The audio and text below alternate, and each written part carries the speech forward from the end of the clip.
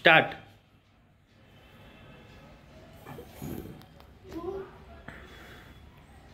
थोड़ा सा तेज़ी बढ़ाना पड़ेगा इतना स्लो नहीं चलेगा।